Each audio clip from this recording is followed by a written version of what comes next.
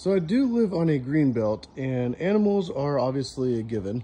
And the reason I had all this poured is so that I can have my trash cans around the house, not have to worry about stepping on anything, especially a coral snake. If you don't know anything about coral snakes, uh, yeah, look it up. And that's why I got a six foot snake pole. Oh, here we go.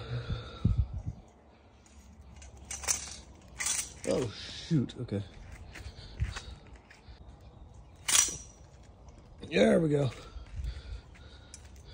Actually, it looks like a smaller snake in its mouth.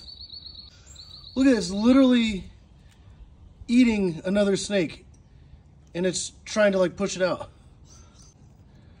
Wow, that is terrifying.